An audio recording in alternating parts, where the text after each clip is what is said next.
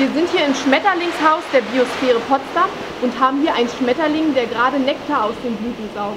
Das Besondere ist, dass der Rüssel teilweise länger ist als der Schmetterling selbst. Wenn dieser nicht in Gebrauch ist, wird er, um Platz zu sparen, einfach aufgerollt.